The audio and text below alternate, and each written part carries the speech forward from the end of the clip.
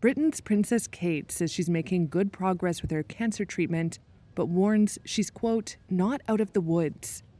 This photo of her was released on Friday at the same time as a personal note, where she says she's been, quote, blown away by kind messages from around the globe, and that they've made a big difference to her and her husband, Prince William, the heir to the throne.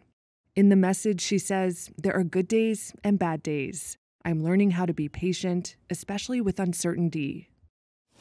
Kate also said she would make her first public appearance in months on Saturday at the King's birthday parade. The 42 year old is set to ride in a carriage with her three children, Princes George and Louis, and Princess Charlotte, and also appear on the balcony of Buckingham Palace with senior royals, including King Charles. Kate's last public appearance was in December when she attended a Christmas Day church service. People in London welcomed the news. Obviously, she's a mum, and the most important thing is that she can be there for her children. So great that she's feeling well enough that she can even come out to the public eye. Hopefully, it gives other people in similar situation with a cancer diagnosis hope. In January, Kate spent two weeks in hospital after having major abdominal surgery. She revealed the tests found cancer in March.